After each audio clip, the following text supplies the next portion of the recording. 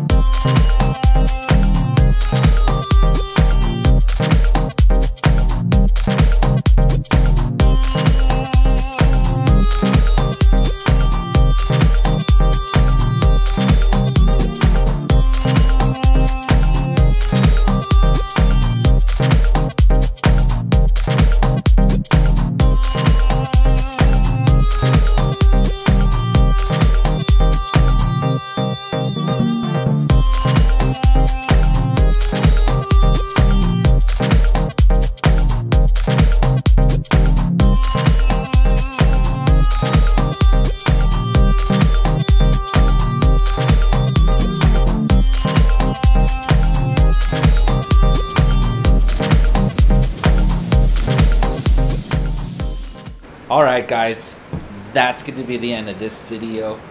I went ahead and I fiberglassed in my back window on the back end of this cab here.